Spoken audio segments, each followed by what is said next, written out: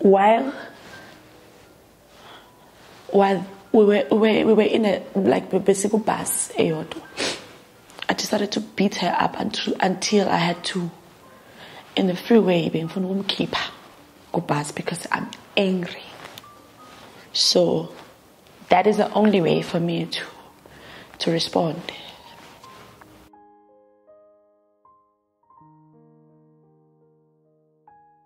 Hello guys, how are you? Um, my name is Mpumi Mtsweni Tshabalala. I am a musician. I'm a child of God. I'm a mother. Uh, I was born in Middelburg. Grew up in Hendrina with um, some reasons. But at the moment, I just want to introduce myself. I'm a mother. At the same time, I'm a wife. I'm a second born at home with two siblings. Yeah, and I'm a musician as well. So, yeah, I'm just here to let you know about actually who Mpumi is. Mpumi was a very um, fragile child when she was born. Not only fragile, but very strong at the same time, with a gift, so many gifts actually. So, okhula kwami I grew up ngumntwana owaphikwa-ke mina. I was like, no, this is not a child of mine. My dad decided not to raise me as his own. With some reasons I don't know. So uma ngikhula, ngikhula ngumntwana ohamba hlala because um, my mom was unstable when it comes to kuhlala ekhaya.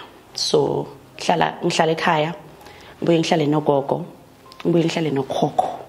I don't know if you guys can understand that one. So, at the age of five, my mom decided to um, to get married to Baba, my stepdad, which is Petros Mtsweni.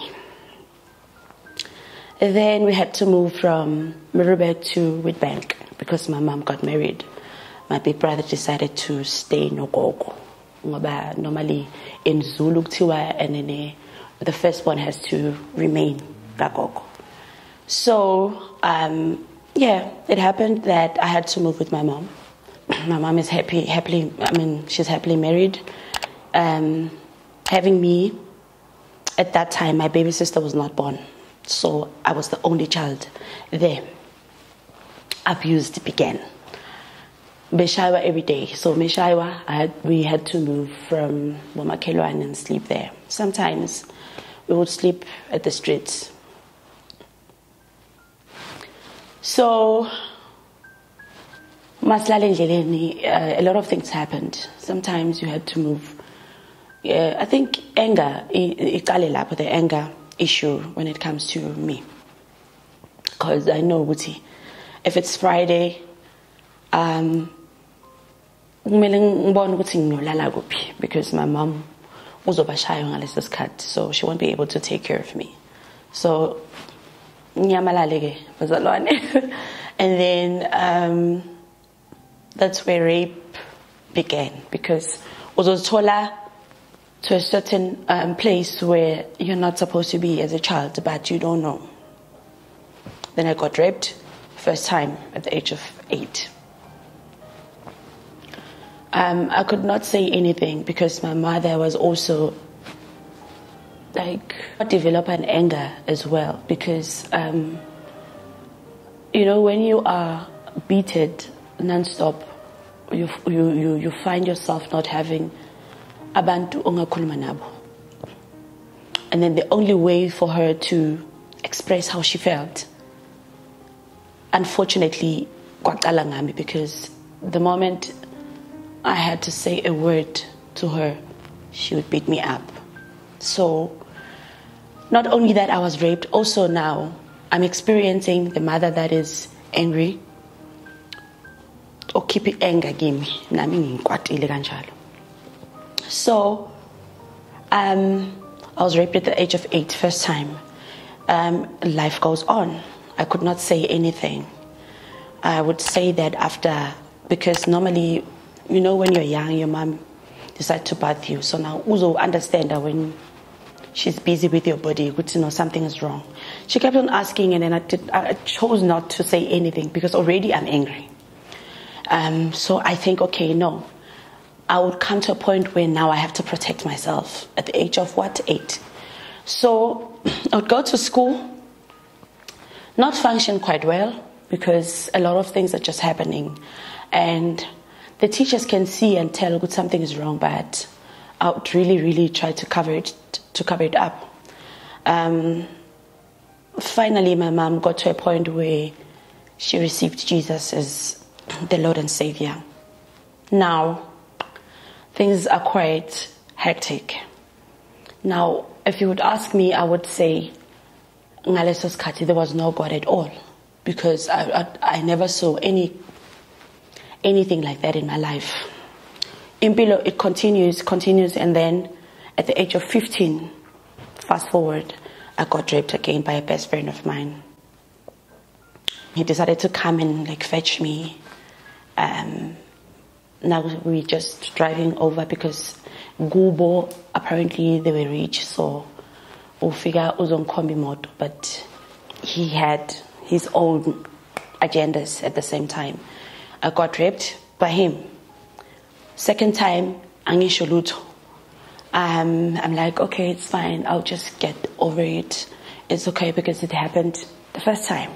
So I got over it. Kanti, things are just, you know, izinto ziya-edeka because uh, inhliziyo so now it continues um, i decide to forgive him um, because he's my friend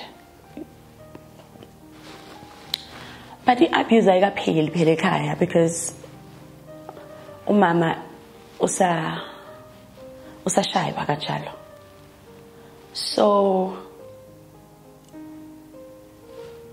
now I have a mother to protect because I'm 15, and now he, um, she's pregnant.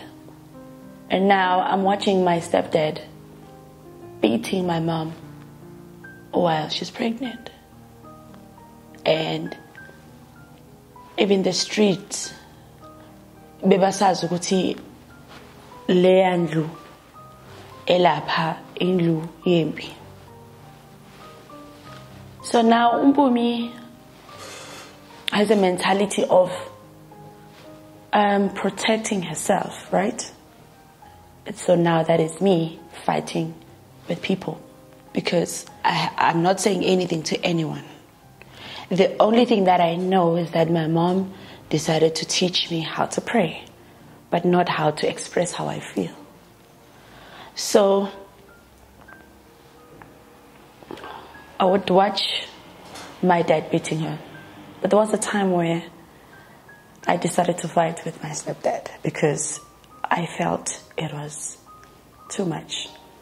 And I could not say anything, not even at, like, on the family, aside in La Mama, because my mom told me not to say anything to anyone, even aside. Not to any, like, it's a secret that she's, she's, um, or, or abusive. So it's only me that knows. So that, that means I have to protect my mom.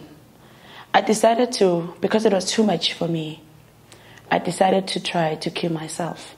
Remember, um, my dad was like, my dad is like,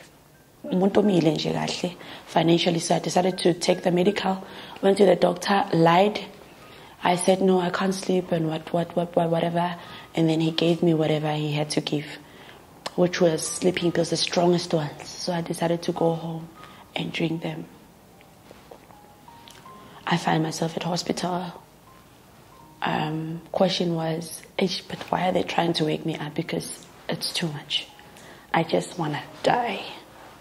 That's all. Because I know that there is a God, but I can't see him at the moment.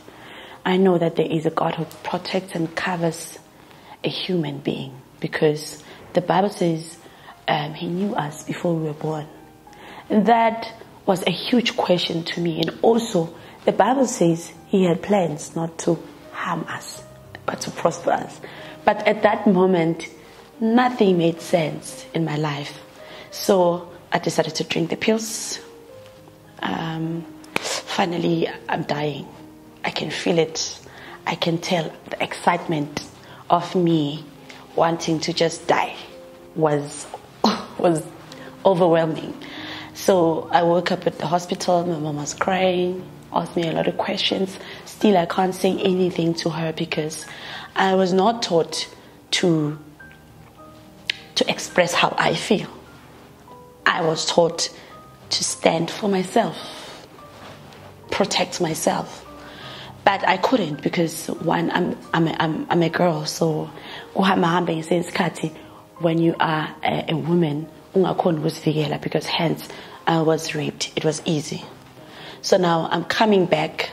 My mother is trying to get all the counsel in any way possible. Pastors are coming, um, praying for me. Nothing could make sense, you know. Went back home. Now at the age of 19, I got raped again by the best friend of my grandfather. Apparently my mom decided to ukuthi angithume endlini kanti ngizothola ubaba ubaba has been giving you know the red flags because he would touch me ngendlela engafuni ngayo but I would respond though I would but I couldn't fight myself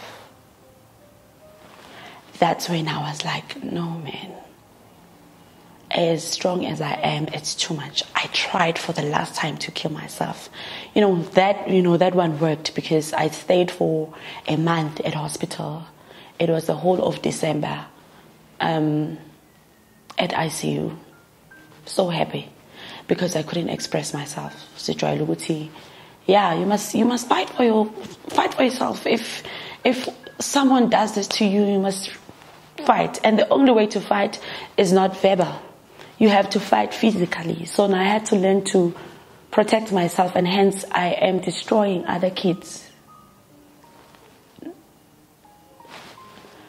So there was a time where at the age of 19 I decided after the whole thingy, uh, I think 20, I decided to join a group called Extravaganza in Witbank, the biggest group in Witbank because um, I used to sing at, at, at Sunday school, right?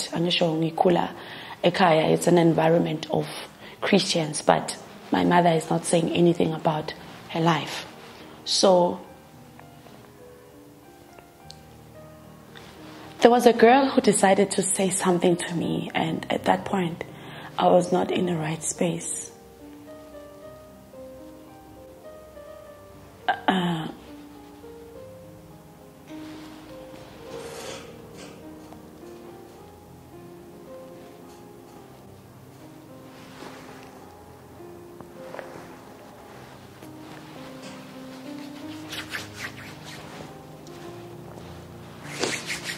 So the way I responded to her was quite was not right. I, am not I'm not proud of it because while while we were, we were, we were in a like a basic bus I decided to beat her up until, until I had to in the freeway being from keep her bus because I'm angry. So that is the only way for me to to respond. Uguti, like I almost killed her. So that's when I saw that I had anger. So they took her to hospital. Now the pastor that was taking care of us had to cover me because I was supposed to be arrested.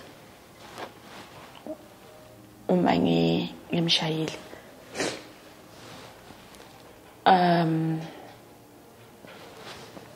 that's when I realized how dangerous I am, or I was at that time, because it's not the same.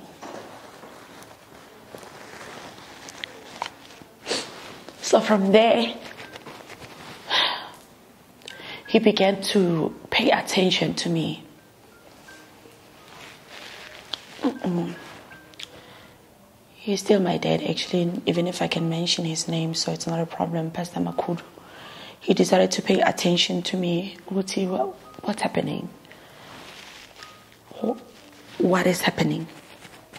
He provoked me to an extent where I had to tell him who I am or where I come from. You know, because sometimes we focus on on the spiritual side of everything, but the heart is not in the right space. I don't know whether people get me. So I had to explain that my mom is beaten up every day. I can't live like this, whatever. I was raped and and and and. and. So now he decided to to open a case for everybody, like the, the three guys who raped me. So we decided to take it from there. I was so happy because it was revenge. You know, i Nami finally I'll be okay if I see them being punished. Um, we, we decided to open a case for them by Baboshwa because the story was valid and we had a lawyer and everything. So when they got arrested, um, I know I was a child of God, but I think that's when God decided to take control, full control of me. There was a day where I was, I decided to take a prayer and fasting. And then I'm telling my mom that, no, you know what? I want to go far. And then she's asking where. I'm like, no, I want to go to a prayer and fasting. She's asking how many days. I'm like, 40 days. And she's like, Are you going to survive? I'm like, Yeah, I think I need to do this because something is pushing me to go to a prayer. I decided to go. Um, now, healing to control along the way. Because there's a time where you need to be amongst people, but there's a time where you need to be with God because He's the owner of the heart. That's when I realized that, oh no, this Jesus that I serve is amazing. I went for prayer. Days are just, you know, amalanga yahamba. I'm seeing the beauty of God. Gandhi, He is healing me. He is healing me. I'm not aware. When I began to communicate with Him, He began to speak with me. So on the 20th day, I remember having that prayer and fasting. God gives me a song, Getsemane. Because that song was written a long time ago before I had to record the first album. Um, I'm writing a song, reading the, the scripture of Luke chapter 20 when Jesus had to be punished at Gethsemane. So Jesus said to me, please pay attention to the scripture until you get out of this place. Now I'm reading the scripture. Um, the Bible says he fasted for 40 days and 40 nights, right? But when you read the scripture from the, from the book of Genesis to Luke, if you have to check, Jesus was really mistreated, but there was no line, or rather, what phase where they said he cried or he mourned, whatever. He never. But until he got to Gethsemane. Gethsemane, the Bible says he cried until the tears has to turn to blood.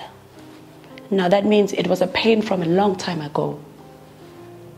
Until he had to say, if it's possible, let this cup pass by ngithanda ngesizulu. Uma kukuhle kuwe lisitsha masindlule. So now i had to say ngibonga umusa owenzileyo egetsemane egetsemane ngibonga uthando. So now jesus had to reveal it because he was saying to me look i know you had to go through this but it's not for you because even if I was crucified, it was not for me, it was for you.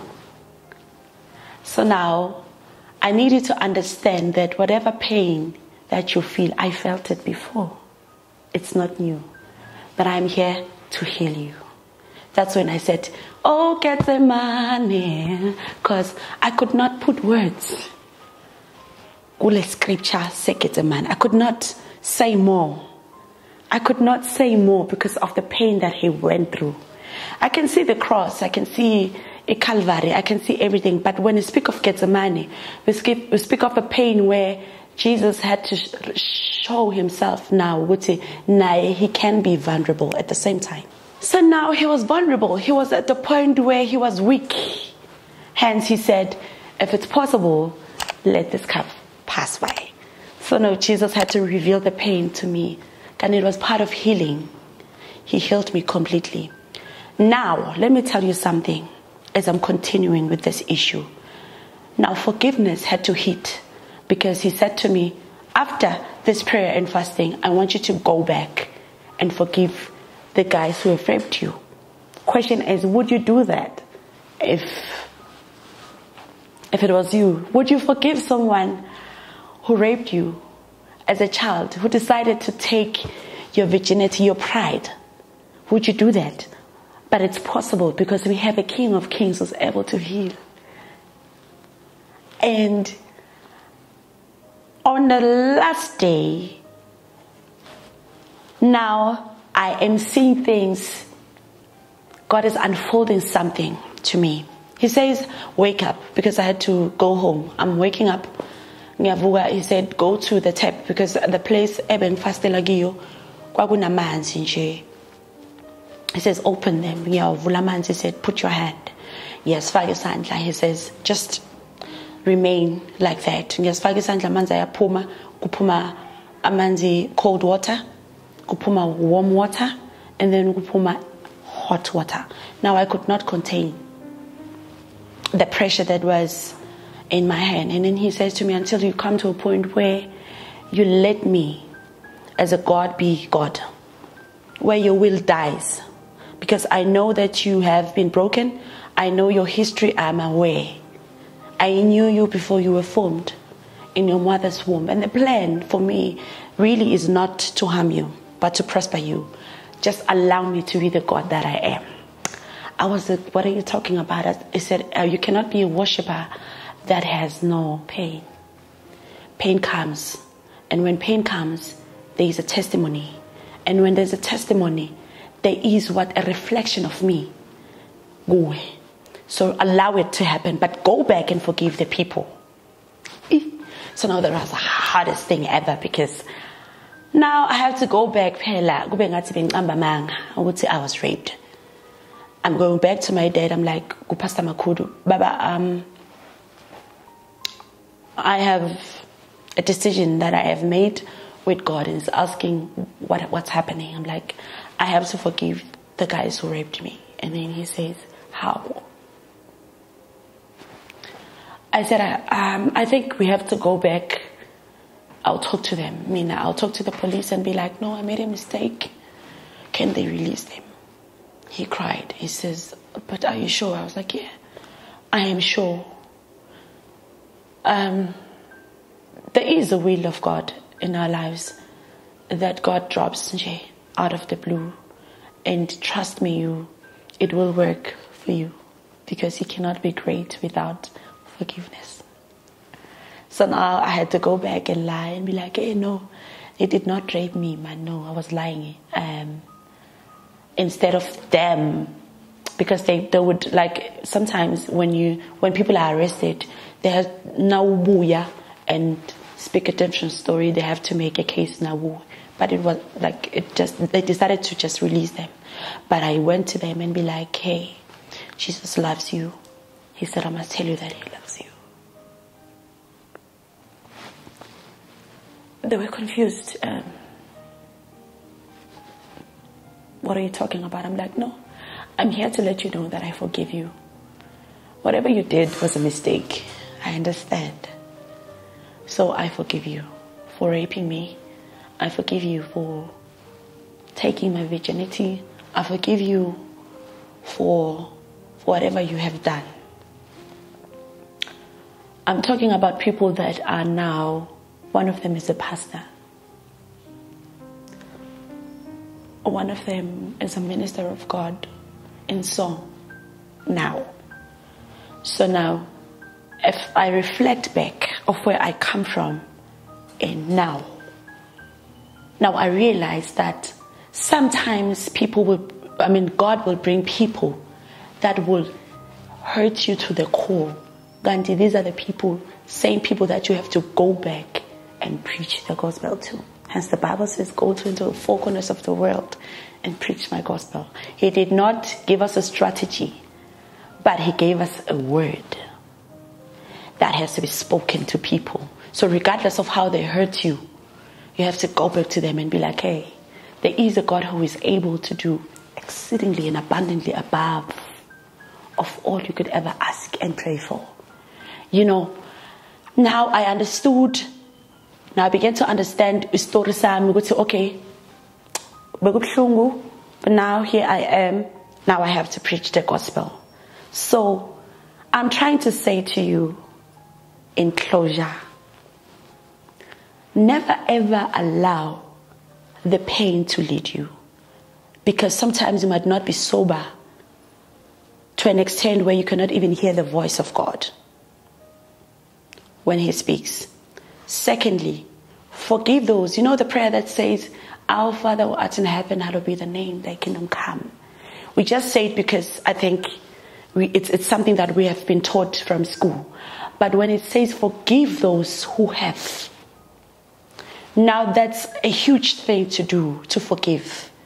And I've realized that maybe we have so many ministers who have been where I am and it's hard for them to minister. Maybe you we have come to a point where you got a divorce and you don't want to forgive the same person who caused the pain in your life. Pella, if I can tell you a story, if it was for men or Nagimi, because I even told my mom, I even declared it, no, I don't see myself getting married because, I mean, what is the point? Because there's a man who's able to beat you up. But I had to come to a point where I went to my stepdad and be like, hey, dude, I love you because here I am, unkulisile, and I'm a, I'm, a, I'm, I'm a woman now because of you. Huh? Now, fast forward, my dad comes back at the age of 25. Excited. I'm excited. I'm singing songs of victory. Jesus, you love me too much. Because my dad is coming back. Because he was, he is the, he was because he's, he, he died. He was a person whom I have prayed for. Father, give me a father that loves me. A father that would tell me every day that he loves me. Because no one had told me that, Bumi, I love you.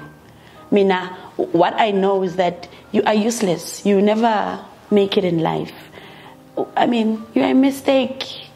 I mean, I'm, I'm a mistake, yeah, but but now when he comes back, he tells me every day that he loves me. And God has given me two years of a relationship. I mean, you can have it, but he's he's dying. I remember there was a day he called me and said, "Where are you?" I'm like, "No, I was in Joburg uh, ministering." I'm like, "I'm coming." Gandhi, there was a day. That was a day he died. So it's Umpumi who needed love sex for love everywhere, but got raped. But Jesus showed me how much He loves me. You understand? So I'm trying to say to you, there is a God who is able to heal a person. I mean, here I am sharing a stage, I mean, shared a stage with Omam Lebo Sekgobela, um, who, the, you can call them, you can name them the legends, or Khaya, um, Mthethwa, got interviews and whatever, while I was called a useless human being. I'm trying to say to you, there is a God who is able to open doors. Trust the process. Trust the pain. Forgive. Please, I just want to emphasize that one. Forgive because if you cannot forgive, God is unable to trust you with the breakthroughs that He has forth for you. He cannot hand, He cannot hand the breakthroughs that He has for you. He cannot give them in your hands. He cannot, He cannot sustain you. He cannot open your eyes. He cannot give you the gifts of the kingdom. You understand? He cannot trust you as a prophet. He cannot trust you as a preacher, as a healer, as a minister in song, he cannot trust you with that until you had to come to a point where you say, Lord, I forgive this person. And when you do, be genuine, go to that person and say, hey, I know that we have this and that, but I forgive you. Because some people can be able to hurt you and they'll never come back and say sorry, but do that. Do that for the sake of the kingdom because God has something in store for you. You cannot hold your breakthroughs because you can't forgive someone. So, yeah, Mpumi Mtsweni um, happened to get married to Fundo Tshabalala.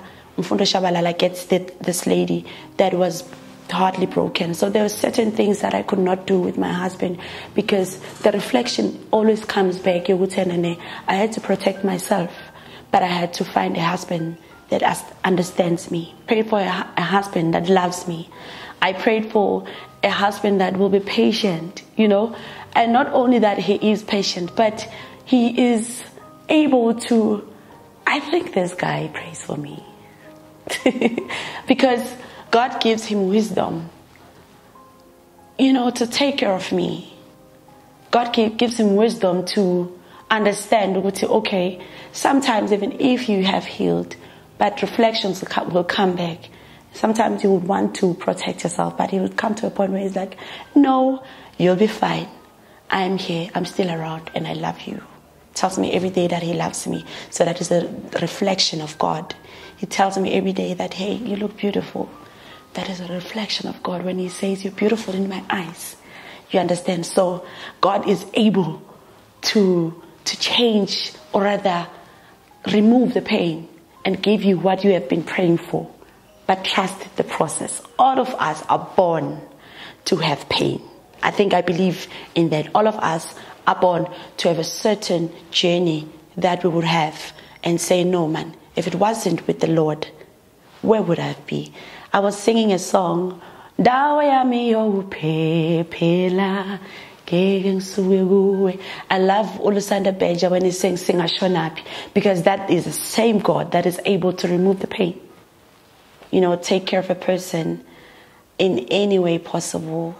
Also, I will, I'd rather invite you guys to come. hey, what's that, Nina? On the 2nd of October, I am doing my second, it's a second DVD, but it's a launch. So I'll I'll be there with Obusi Khatepe, Aubrey M.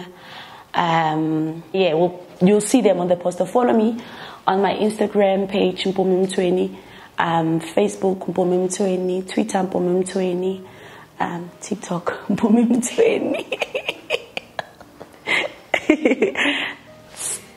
2nd of October, Gyanmem. Please do come. It's going to be amazing. Um, Normally, my mom teach, I mean, taught me to sing ingoma, hymn songs. Hymn songs, I grew up singing hymn songs. So please be there.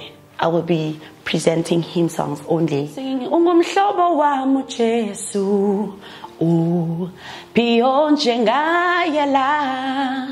Ah, baningi bayamshiya. Ingabe ngo ngomhlubuka nami na. I love this part. Ah, ngisoze ngahlukana. No, ngithanda kangaka. Jalo ngiyothandana naye. Khona la nakhona le. Izulu ngiyayazi mina. Hi, my name is Mpumi Mtsweni Tshabalala and I have been through the most.